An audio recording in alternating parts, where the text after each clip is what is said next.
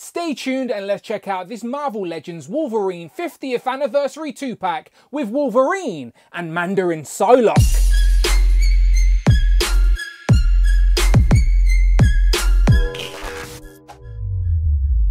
Pow and welcome back to the channel Dan Who Reviews. As always, my name is Dan W. Make sure you are following me on Instagram at It's Dan Who. And remember now you can hit that join button and become a channel member as well. Either show some love or join the members club. Much, much appreciated. Today, the celebration of Wolverine's 50th anniversary continues as we have another Marvel Legends 2-pack. This time, it is the Mandarin Psylocke, or Psylocke in her Mandarin armor, and then the less exciting Samurai Wolverine, who we have technically already had in the Marvel Legends line during that first wave of orange X-Men retro cards, but it has been upgraded. Of course, we'll do a full comparison, but the main event is, of course, Psylocke. Now, there's no disputing this is an epic looking Marvel legend, but I would have selfishly probably preferred in my collection the Outback Armor Psylocke or even the first appearance of Betsy. But as I said, she looks great and there's some potential reuse for maybe a Deathbird.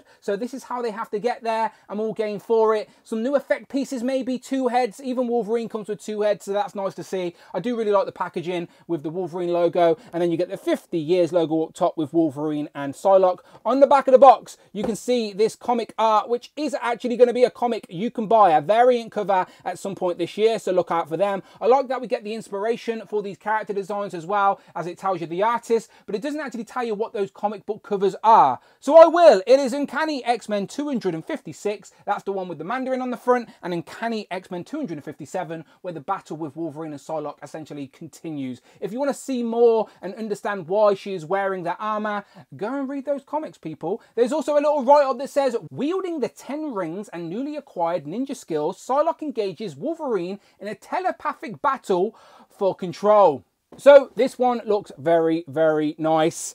Let's get them out the box. Here we have them out of the packaging with their accessories on the table. And it's nice to see that they both come with an interchangeable head and also a few pieces. Now, Wolverine obviously only comes with a set of unbladed hands, but Psylocke seems to come with some new effect pieces, which are very rare in Marvel Legends. Usually we just get reused, different colors, but these seem new. She also comes with some interchangeable hands, her psionic blade, which debuted during this gear, and then she's got more of an evil head scanner. Can I just say, before I even zoom in, both of the head sculpts on both of these figures are really, really nice. And you'll see what I mean when we take a closer look. So let's do exactly that. Uh, and we'll do it one by one. And since it's Wolverine's 50th birthday, let's start with him. Focusing on Wolverine then, as you would expect, he is smaller than your average legend at under six inches in height, which is accurate for Wolverine. And this figure is more upgraded than I initially thought in comparison to the previous release. So this actually has the upgraded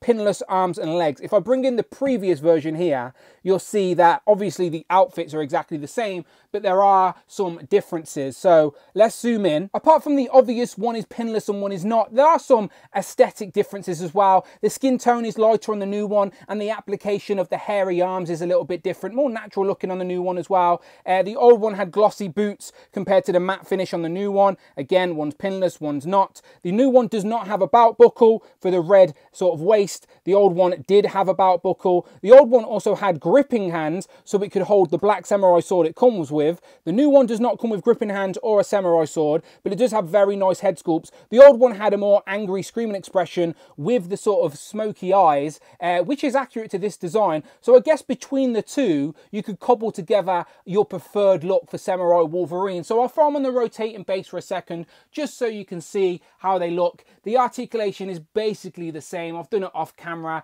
even though the pinless tech is there. Probably a little bit better, but overall decent enough. But I'm rambling just while they spin for a second. The main event are the new head sculpts for this Samurai Wolverine. As their head sculpts, you could probably pop on other Marvel Legends, which is great just to have that option to upgrade some past releases. So let's check them out. So the first head sculpt I'm going to call Moody Wolverine as he definitely doesn't look happy. But look at the depth and the detail in that digital face print in tech. It honestly looks like it could be based off an actual real person rather than uh, a 2D comic book page. But it does look really nice. You can even see that 5 o'clock shadow for Wolverine as well. And there's definitely some blue highlights in his hair. Before spinning around though, I should mention that this new Wolverine also has the skin around the sort of collar uh, where the previous version was black all the way up to the neck. So there are a difference between the paint on the upper torsos as well, which I might not have previously mentioned. But anyway, back to the head and I'll spin it around so you can see the sideburns go all the way down. See a little bit of that five o'clock shadow with blue highlights in the hair as well. And the hair wisps out to the side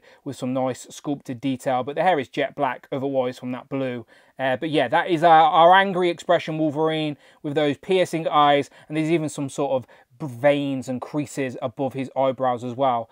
But we also have, shall we dub this the cocky expression for Wolverine, as he definitely seems a little bit more sure of himself there, with a little bit of a smirk appearing, as well as the cocked eyebrow, and you can actually see a little bit of the hair coming over the forehead as well, which makes me think there are some differences to the hair sculpt, but otherwise still has the blue highlights and then the long sideburns flaring out to the side as well as the two points, of course, which is trademark. Again, otherwise all black. Again, both heads are on the disc and hinge. Of course they are, so we can look up, down, swivel, etc. But uh, yeah, I really like the sense of depth here with the digital face printing tech and the sort of uh, again the, the five o'clock shadow let's look at them both side by side so you can see what i mean you've got definitely a grumpier angry Wolverine straight out the box, and then the alternative head is a little bit more sure of himself with that sort of slight appearance of a smirk. And again, the hair looks similar, but there are a little bit of differences, even if it is just a little bit of hair uh, on the fringe. But even still, nice to have those two different expressions. And I'm sure we could pop these heads on other Marvel Legends. But in case you were wondering, then yes, of course, you can pop the old head on the new body so you can have a more angry Wolverine. And he does actually have the smoky eyes in this costume when he's fighting Psylocke. At least in a couple of panels it seems that way. So I'm sure between the two you can pick your preference. Before we move on, of course, bringing some attention to these terrible claws. Let's be honest and send a message to the universe. Let's never see these again. These get warped and they can never really look great when posing. All of these are individually plugged into the actual hand and then sometimes they just stick out and they're just warped and yeah, they're never great. Very fiddly. I do like that they've painted the actual bits on the forearm metal though. Those gauntlets are a separate piece as well. But uh, yeah, we've got better claws in the Marvel Legends library now to use these. But uh, yeah, they are old school. We can definitely do better. But in case you don't want the claws, we do, of course, have a set of interchangeable fisted hands. And apart from the head, that's all you get. And I honestly wanted to finish by swapping out the gripping hands on the old one, which hold the sword, and plug them into the new one. But because they've switched out the arms, the peg now for the hands is just smaller. So unless you Dremel out that hole on the hands, you're not actually going to be able to use the old gripping hands uh, like I initially thought. Also, the little wrist gauntlets that are a separate piece are different on the old one. They're a little bit thicker on the old one compared to the new one. Again, tiny detail. Uh, but yeah, you can't swap out the gripping hands without a little bit of modding. So yeah, you can only swap the head between the two, unfortunately. So uh, in case you wanted him to hold a sword, uh, he can't. And just to further prove my point, the advantage of Wolverine having such unique anatomy means that Hasbro reused that same torso mold over and over again, and they've all got the same neck peg. So you can switch and pop their heads to your heart's content. So here we have the two new Samurai Wolverine heads on two random previous Marvel Legend Wolverines. We've got the X-Force and then the Love Triangle Tiger stripe, I think. Either way, you can pop the heads, of course you can, and because of the sense for depth and the added detail on these new head sculpts, it does sort of enhance them. You've just got to find a Wolverine where the skin tones match a little bit better than that Tiger Stripe version, for example, but it works nicely on the X-Force. But anyway, Go wild. And again, this isn't every Marvel Legends Wolverine. My table is honestly not big enough for that. But here's a lot of them anyway. A lot of Tiger Stripes, a bit of X-Force, a bit of Uncanny X-Men. We've got a Weapon X back there. And of course, front and center, the brand new Samurai Wolverine. For the one guy in the comments that was about to complain I didn't do this head swap, here you go. It is the recent Uncanny X-Men Angry Expression Wolverine uh, on this samurai body so you can give him a little bit of attitude but the skin tones don't exactly work unfortunately but again again so much head swap potential also that amazon exclusive wolverine five pack from the topless wolverine works on this body if you want to get him posed up like he's been beaten up by Psylocke. And one last Wolverine comparison for now. Here we have the other variant Wolverine we have already reviewed on the channel from these recent 50th anniversary two packs. It is of course the Brood Wolverine. And look how much better his claws are compared to the Samurai Wolverine. Honestly, the longer I have this, the more I like it. Go and check out my review review of that Lilandra 2-pack on the channel right now really solid Wolverine. Let's get to the main event, which is of course Psylocke in this Mandarin armor. I talked about Wolverine for far too long. This is what the people want to see because first impressions, she genuinely does look really, really good. She comes with a nice array of accessories as well. We will look at further, but first let me get the tape measure out. She is six and three quarter inches to the top of the point on her helmet and just aesthetically looks really nice and pretty accurate to the source material. If I throw up an image, you can see what I mean? It does look very nice. You could nitpick and say maybe the arms should have all been chrome rather than the blue forearms, but they've chose aesthetics over thought of function here as that cape is glued on and it's sort of hard enough to hold its shape, which will limit some of the articulation, but I still think she's going to look great on display and you can still get her posed up, which we will find out. But if you are asking the question, Dan, why is Psylocke wearing this Mandarin armor? Well, in 1989's The Uncanny X-Men 256, we first see Lady Mandarin. We now obviously know it's Betsy Braddock as she was kidnapped by the Hand who brainwashed her and switched their bodies with an East Asian assassin under the name of Lady Mandarin. She works for, obviously, the Mandarin as his right-hand supreme assassin. It's only after psychic contact with Wolverine she regains her free will, but is left with new skills and this new appearance. So if you know anything about Psylocke, you know her backstory is a bit complicated. She switches bodies, uh, and but this is the first appearance of that switched body in this armor, uh, and it is a very nice looking version of Psylocke. As I said at the start, though, I would still want Outback, and I still want first appearance Betsy, UK repping and all that.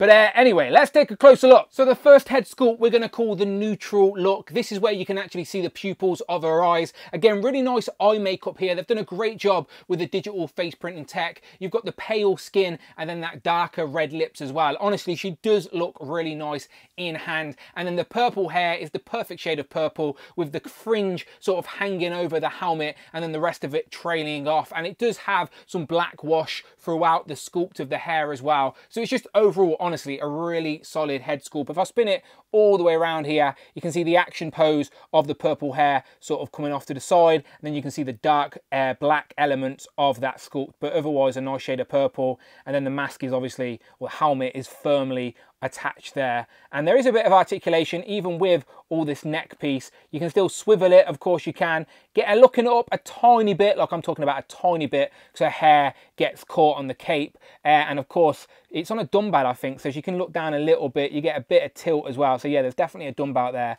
But either way, face sculpt, first one, looks really nice. The second head sculpt has a very sinister look with that grin and the whited out eyes. This is definitely the brainwashed version of Psylocke, but it does the trick. Honestly, looks really, really nice. The hair sculpt is exactly the same as the other one. It is just the facial expression behind the mask or the helmet is really nice. That's the difference. Otherwise, the two heads are exactly the same all the way around. So I'll throw up a side by side, but again, we're only focusing on really the expressions on the face. That is the difference between the two heads. Otherwise, hair, helmet the same. It's just the expression. You want brainwashed or the neutral look. Let me know your favorite in the comments. So as I've mentioned, you won't be able to remove the cape as it is glued at this upper torso, but I do like the added shaded detail they've put in all of the creases here for the cape in the black that is sort of swung over one shoulder. So you can see it swung over one shoulder and sort of sticks out this side. And it is done in a nice hard blue plastic, so it will hold its shape. And it's not too heavy to make a back heavy. If I lift that up, you'll see what I mean. It's literally only glued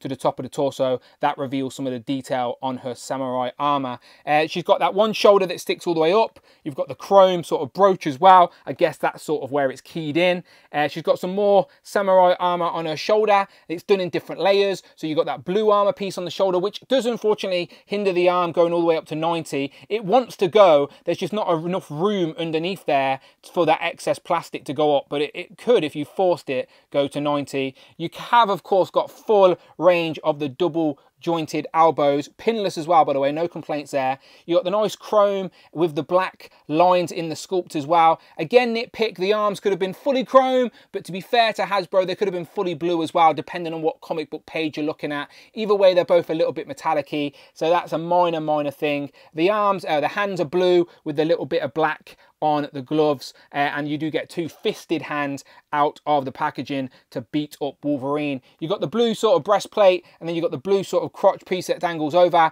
Doesn't hinder the articulation. You've already seen the nice sort of detail on a skirt piece. Again, these are separate pieces which will come up and out the way for our leg articulation. You've got some nice chrome detail. Again, it's a nice shiny chrome with the black sort of wash in all of the creases and sculpted work. So they do stand out really nice. A little bit of gappage on my thigh cut, but you can see the thigh swivel there. Legs will go really far out to be fair to her which you want for a samurai and then she's got the double jointed pinless knees which are always nice to see and the knees don't look too awkward either no boot cut of course but she's got ankle pivot and rocker again you can get the legs out about that far from the side so about standard marvel legend range to be fair like that's not too bad is it so you can definitely get her into some like high kicking poses if you wanted to. That's not going to be a problem. So uh, yeah, she does look really, really nice. Again, I like the texture on all of this extra armor piece. So again, they've went the aesthetic route, because it, they want it to look like the source material, which is great, but there's still a lot of room for movement and articulation in there. Of course, this arm is going to be hindered because of the hard cape, but the articulation is all there, so you can still get her arm sticking out and use that for effect pieces and stuff. So let's check out what she has got. First up, we've got Psylocke's trademark Psychic Pink Blade. Now, I think we've seen this before with Marvel Legends, but it does look very, very nice. You sort of just clip it on the wrist like so, and then you can hide it from the front. But uh, yeah, that is a very accurate representation of her power sets from the comic book page into plastic, and it does look really nice. Before I plug in the other effects, I wanted to switch out the hands. So she does come with a set of sort of more expressive open palm hands. And these new effects uh, are definitely new. We have never seen these before in the Marvel Legends line. Let's have a look. Now we've got two bubbly effect pieces. Now these are unique. They are not like the same. So they have two different unique shapes. That one sort of looks like an animal. Do you know when you look at clouds too long and they start to look like things? Like that's what's sort of going on here. But either way, yeah, I'm not being sarcastic. It is genuinely nice to see some new effect pieces in the Marvel Legends library rather than the same ones reused over and over again. So I expect to see these a thousand times in every colour of the rainbow. We got that to look forward to. So let's see how they actually look on Psylocke. And you know what? They're not too bad at all. These will definitely benefit particular characters within the Marvel Universe, especially when you get them in different colours. So uh, yeah, they basically just attach to the wrist. It is as simple as that. They just clip onto the wrist. So I guess you could flip them round if you would rather more like sort of effect on the other end if you wanted to, like a charged up power like that coming out of the body. So you can just flip them around. But yeah, they simply just clip on to the wrist and then you can just get a post up. I do always appreciate it when we get effect pieces to bring the display to life a little bit. So uh, yeah, it's nice to see something new and they just simply clip on her arm and definitely add a little bit of oomph to Psylocke, which is otherwise a great looking figure, really is. Here we have our Marvel Legends Psylocke comparison, and there's no disputing that this new Mandarin Psylocke is the best Marvel Legends Psylocke we have. It is probably just not in your preferred look, but as a Marvel Legend, it is levels above anything that has come before. We've had two versions of the Jim Lee version. It was actually a running change that was never promoted. It wasn't really a variant. It was definitely like just a running change where they sort of changed the hair to purple and she got the sort of more metallic suit, but the blue suit's better with the purple hair. So head swap those. And then we've got that repainted in the X-Force black colours essentially. So Psylocke as an Asian assassin is definitely worthy of a better articulated body with the double jointed elbows and such. So yeah, let's get a Psylocke on the new Black Widow body at least. I think she's worthy of that. But until then, our Psylocke in the Mandarin armour is easily our best version. I'm just curious, even though the previous ones never had the face print in tech, could we do some head swaps? Let me try the X-Force version. Oh, we were so close. Unfortunately, because it's on a dumbbell, uh, it's just a smaller peg, so the head just sits really deep and you can't really pose it up because of the way the hair sits against the cape. So yeah, an unmasked or an unhelmeted version of Psylocke on this body would have been a nice touch because I think by the end of the battle, she is completely unmasked when she's facing Wolverine. So there we have the X-Force version as it was the newest release. But let me just try the other purple haired version as well, which probably works a little bit better actually. Um, but they need the digital face printing tech to really be up to par. But yeah, the hair just doesn't sit right, unfortunately. But there's potential there for someone to tweak that and maybe make an unmasked version of Mandarin Psylocke um, because that would be accurate. But yeah, old Psylocke needs an upgrade regardless. New Jim Lee Psylocke. Here we have Psylocke compared to another brand new female in the line. It is, of course, Lilandra, who I've just reviewed on the channel. And there is definitely reuse potential here for Deathbird for the Shi'ar sort of setup. So potential for that in the future. But it's also a great start for females in 2024 because for the last two years, a female Marvel Legend has topped my personal comic top 10 lists with Spiral in 2022 and then Black Widow in 2023. So maybe we will see the trifecta of female Marvel Legends topping the list again when all is said and done. Because so far, we're starting off hot. Some of our female Marvel Legends for comparison, we've got the Phoenix Jean Grey in the green with a little head swap, and then the Black Widow I've just mentioned. We absolutely need uh, a new Jim Lee Psylocke utilising that pinless articulation that that Black Widow has. Make it happen, Hasbro. Here we have the X-Men 97 Cyclops and Wolverine, which is now on Disney+. Plus. It is returned! To be honest, no real relevance, just figures that are literally in close proximity to me from my last review. It is Gladiator and Vulcan. Here we have the Renew Your Vow Spider-Man and then the brand new Walmart exclusive Secret Empire Captain America. Again, review on the channel. And here we have the Deadly Assassin herself compared to the Marvel Legends Mandarin. Uh, oh, oh wait. We don't have a new Marvel Legends Mandarin. What is wrong with you, Hasbro? We need a Marvel Legends Mandarin. It's been far too long. Make it happen. Let's wrap up with some of the Who crew. So here we have Frogman, Tigra and Jocasta, who is reading out comments from the previous Marvel Legend review. Leave a comment on this video and she may read yours on the next one. Who have you picked today? Robert Falcone 3025 says, now we need an updated Marvel Legends Brood BAF. And last but not least is, of course, Captain Britain, who is having a little family reunion here because Psylocke is actually his sister. This is Betsy Braddock, but he probably has no idea that she's now an Asian. He just didn't know. And why would you know? That's comics for you. But anyway, finally, here we have Hal, Fire, Hank. So, final thoughts on this Marvel Legends Wolverine 50th anniversary 2-pack with Samurai Wolverine and Psylocke in her Mandarin armor, or Lady Mandarin if you will. I genuinely think she is a solid representation from the source material into plastic. You can see I've actually plugged both of the effect pieces into the same arm there just to give it a little bit more oomph. And it genuinely is good to see some new effect pieces to add a bit of life to the display. All the head sculpts, all four of them in this pack are actually really, really nice. And like, even though that's not my favorite look for Psylocke, you cannot dispute it is a great Marvel Legend figure. It really is. And even the Wolverine's a better upgrade than I thought, but it's just not my favorite look for Wolverine by any means. But it does make sense for him to be paired with Lady Mandarin, as that's how he appeared when these two first fought. So it makes sense for a two-pack. So I'll, I'll, I'll give them a pass, but they should have gave us the better claws. Upgrade the arms and legs, that's nice. But then you give us the crappy claws? Come on now, come on now. They're always so close, ain't they? Always so close. But you let me know what you think in the comments below. I'm sure people are going to be very happy with Lady Mandarin. Early potential for figure of the year, that is for sure. Let me know in the comments. And if you like Marvel Legends, then wow, you are in the right place. Check out the videos tab, find the playlists. But most importantly, please, please, please, hit that subscribe button, hit all of the notification bell, don't miss out on a video, and please hit that join button, become a channel member, either show some love or join the members club. Much, much appreciated. You can, of course, check out legendsverse.com. Always good stuff over there. If you collect legends, check them out. Links in the description. Follow me on Instagram at It's Dan Who. I'm on Twitter or, or, X. Do I need to call it X now? Uh, Dan Who Reviews. I won't change my graphic though. I refuse. Anyway, I'm Dan W, and I will, of course, see you on the next one.